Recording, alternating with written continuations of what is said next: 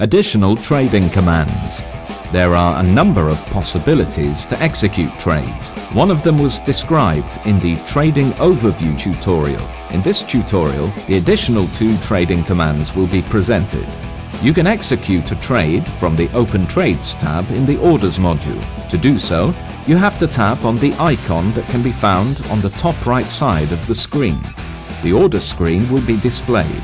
First, you have to select an instrument from all possible instruments shown tap on symbol and the list of instruments will be displayed. Then just tap on the one you want to trade.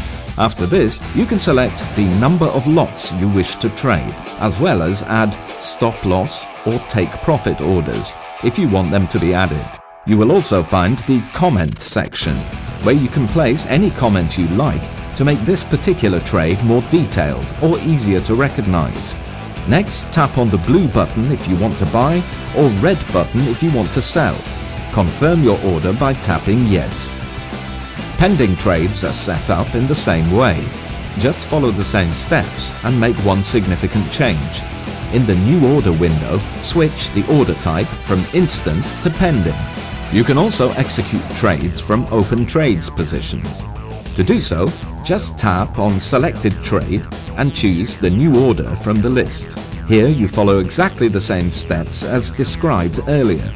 Choose an instrument. Select the number of lots, add stop loss and take profit orders if you wish, and then decide whether to buy or sell the instrument.